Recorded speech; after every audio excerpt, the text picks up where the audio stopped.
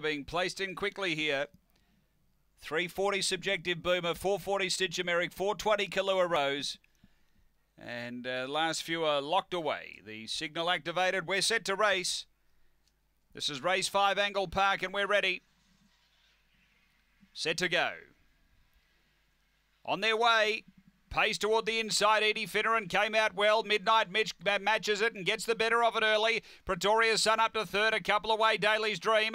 Uh, then Stitch Americ behind those. Subjective Boomer and Kalua Rose out the back, but it's Midnight Mitch highballing in front. Out by five to the turn from Edie Finneran, Pretoria Sun and Stitch Americ, but down the running all Midnight Mitch. It won easily. Midnight Mitch by five. Edie Finneran second. Stitch Americ third. Pretoria Sun next.